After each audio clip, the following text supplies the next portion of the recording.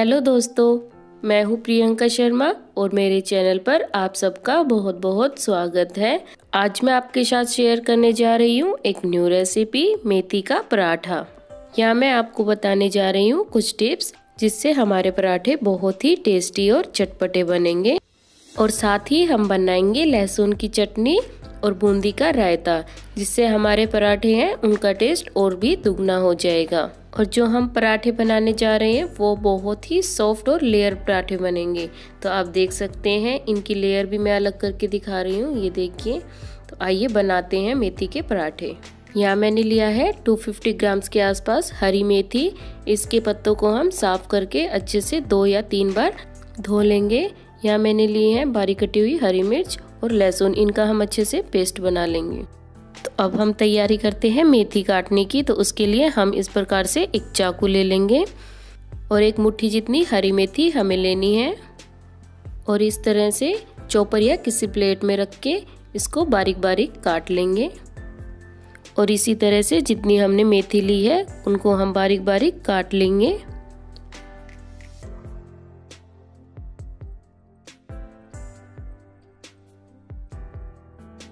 तो आप देख सकते हैं, जितनी मेथी मैंने ली थी, उसको बारीक काट लिया है। अब हम इसे भी दो से तीन बार धो लेंगे, ताकि जो इसमें रेत मिट्टी है, वो साफ़ हो जाए। अब हम तैयारी करते हैं आटा गूंथने की। तो उसके लिए मैंने यहाँ लिया है ढाई कप गेहूँ का आटा। उसे हम छलनी से अच्छे से छान लेंगे। आप यहाँ गेहूँ का आटा मोटा या पतला ले सकते हैं। अब हम इसमें ऐड करेंगे बारीक कटी हुई मेथी। मेथी को यहाँ हमें तीन से चार बार पानी से अच्छे से धो लेना है ताकि इसमें रेत या मिट्टी ना रहे। अब हम इसमें ऐड करेंगे लहसुन और हरी मिर्च का पेस्ट। स्वाद अनुसार नमक। आधा चम्मच जीरा फ्लेवर के लिए। एक चम्मच धनिया पाउडर।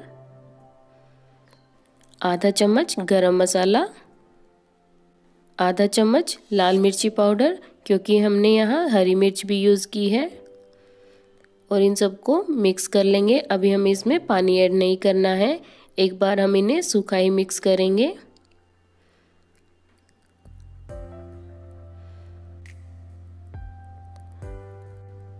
अब मैंने लिया है एक गिलास पानी।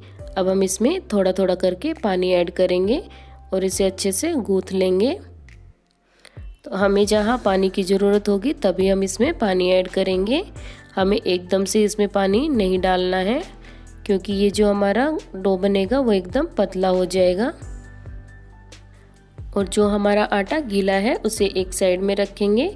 बाकी सूखे आटे को उसी तरह से पानी ऐड करके अच्छे से गूँथ लेंगे। तो यह आटे को गूंथने में हमें तीन से चार मिनट लग जाएँगी। यहाँ हमारा आटे का डो बन चुका है, लेकिन अभी हमें इसे थोड़ा सा सॉफ्ट बनाना है तो उसके लिए हम इसमें अच्छे से लोच लगाएँगे। एक से दो मिनट लोच लगाने के बाद जो हमारा आटा है, वो काफ़ी सॉफ्ट हो जाएगा और आटा फटाफटा नहीं रहेगा। तो इस तरह से हम मेथी के आटे का डो तैयार कर लेंगे। अब हम इसे 10 मिनट के लिए रख देंगे। तब तक हम तैयारी करते हैं चटनी बनाने की। तो उसके लिए मैंने लिया है मिक्सिंग जार। उसमें डालेंगे छः से आठ लहसुन, दो हरी मिर्च, धनिया पत्ती, पंद्रह से बीस कड़ी पत्ते और दो टमाटर बारीक कटे हुए। अब हम इसमें ऐड करेंगे मसाले। एक चम्मच लाल मिर्ची पाउडर, स्वाद अनुसार नमक, एक चम्मच धनिया पाउडर और इन सबको अच्छे से ग्राइंड कर लेंगे। तो यह हमारी चटनी बनकर तैयार है। अब हम तैयारी करते हैं रायता बनाने की। तो उसके लिए मैंने लिया है एक पैन। उसमें डाल लेंगे एक गिलास पानी। पानी को बॉईल होने देंगे। अब हम इसमें डालेंगे एक कप रायता बूंदी। और यहाँ फ्लेम को हम बंद कर देंगे और इनको पाँच से दस मिनट रख देंगे। तो यहाँ मैंने लिया है 300 ग्राम के आसपास दही। दही को हम अच्छे से फेंट लेंगे। तब तक जो हमारी बूंदी है वो भी सेट हो जाएगी। अब हम इसमें डालेंगे मसाले। तो यहाँ मैंने लिया है रोस्टेड जीरा। इसको मैंने अच्छे से मैश कर लिया है नमक स्वाद अनुसार। एक प्याज बारीक कटी हुई और जो हमारी बूंदी है वो भी सेट हो चुकी है। अब हम इसमें डालेंगे बूंदी और इन्हें अच्छे से मिक्स कर लेंगे। तो ये देखिए, हमारा बूंदी का रायता भी बनकर तैयार है। आइए, अब हम तैयारी करते हैं मेथी के पराठे बनाने की। तो उसके लिए हम एक रोटी जितना डो अपने हाथ में लेंगे और उसकी लोई बना लेंगे और थोड़ा सा सूखा आटा उसमें लगाएँगे और इस प्रकार से उसको बेल लेंगे। जैसे हम नॉर्मल रोटी बनाते हैं, उसी तरह से हम बेल लेंगे। तो देखिए, हमारा आटा कहीं से भी फटा हुआ नहीं है, क्योंकि इसमें हमने अच्छे से लोच लगाया था। अब हम इसमें घी लगाएँगे और इसको इस तरह से फोल्ड कर देंगे। अब हम इस लेयर पर भी घी लगाएँगे और इनको भी अच्छे से फोल्ड करेंगे। अब हम इस पर सूखा आटा लगाएँगे। और इसको बेल लेंगे। तो ये हमारा ट्रायंगल शेप है। और ये शेप बच्चों को बहुत ही पसंद आता है। तो आप इस शेप में भी बना सकते हैं। तो ये देखिए, हमारा मेथी का पराठा ट्रायंगल शेप में तैयार है।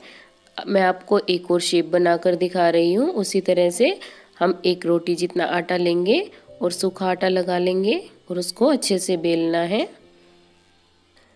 जो हम यहाँ घी यूज़ कर रहे हैं, उससे जो हमारा पराठा है, उसमें बहुत अच्छी लेयर्स बनेंगी।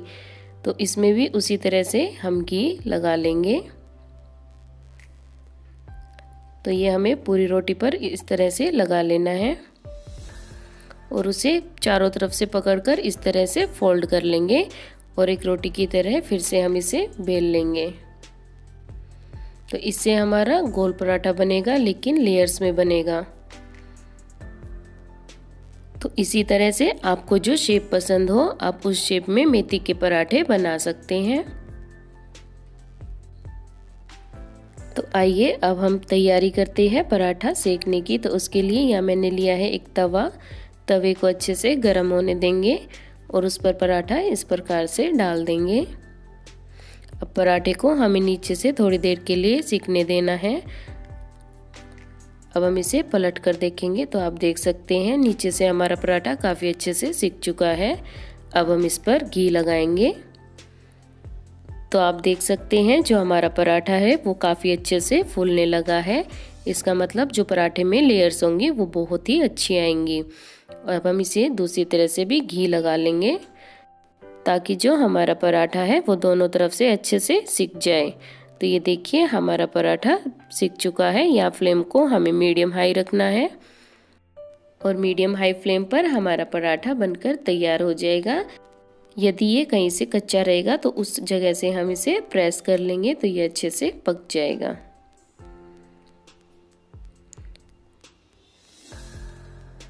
तो देखिए दोस्तों, हमारा पराठा बनकर तैयार है। अब हम इसे किसी प्लेट में निकाल लेंगे। तो यहाँ मैं आपको और नज़दीक से दिखा रही हूँ। तो इस तरह से जब हम घी लगाएँगे तो हमारा जो पराठा है वो अच्छे से फूलने लगेगा। तो ये देखिए कितने अच्छे से पराठा हमारा सीख चुका है। इसी तरह से हमने जितने पराठे बनाए हैं उनको रेडी कर लेंगे। तो देखिए दोस्तों, मेथी का पराठा बनकर तैयार है।